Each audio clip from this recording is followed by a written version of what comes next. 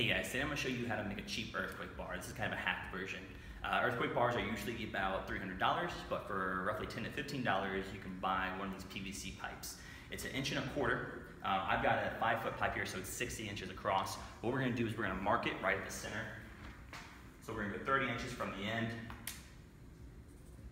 And then standard barbells, the distance between the knurling here is 17 inches. So we're going to go eight and a half inches off of that on each side.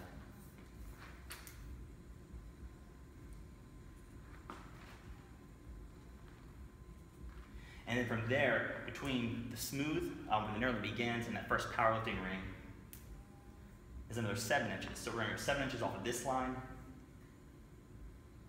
and we're going to mark it again on each side.